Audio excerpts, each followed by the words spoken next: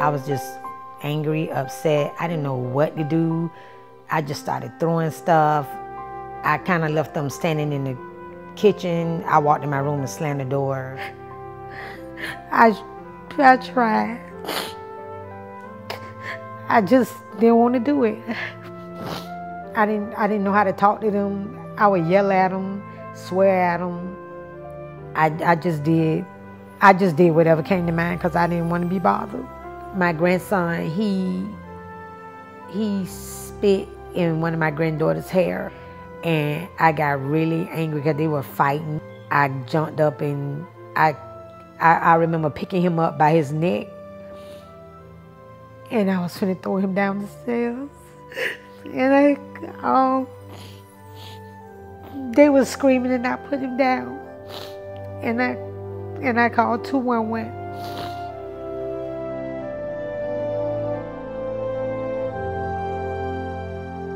When we first met Andrea, we knew that we needed to get her help to deal with her anger issues and to gain coping skills to address the pressure that she was under.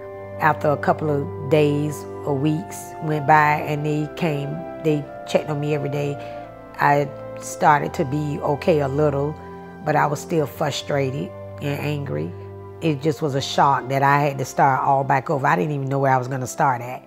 Like, how do you start over with three kids when you raise two and you done? Like, how do you start over? I told Miss Lakeisha and Miss Denise what I wanted to do before the kids came along.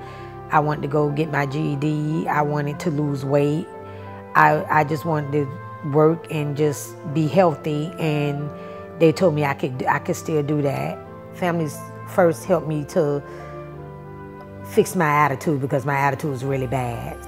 I got therapy. I was able to sit down and just talk to them without the swearing and the yelling and the cussing. And now it's much better. I realized I needed my GED if I was going to help them. I started to spend more time with them. I I would leave my room door open so if they needed help or needed me, and then I learned to get up and cook for them because I wouldn't do that either. Um, taking them to school, picking them up, asking them how was their day, that it excited me.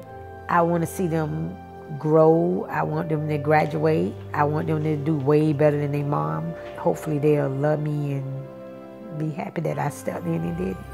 It took me a minute, but I did it. I saw her grow stronger. I saw her exercise self-discipline and controlling her anger. I saw her become proud of herself in the way that she was interacting with her grandchildren.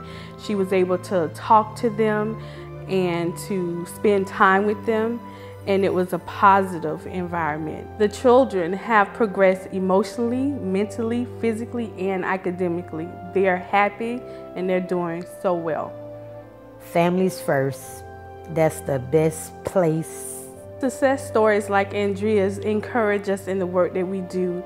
It inspires us. It lets us know that what we're doing is worthwhile and we're actually making a difference in the lives of the relatives that we work with. If they wouldn't have stepped in, I wouldn't have started over. If that agency wasn't there, I don't know where half of these families would be at, including me. Family First is an agency that you would definitely want to look into and let them help you.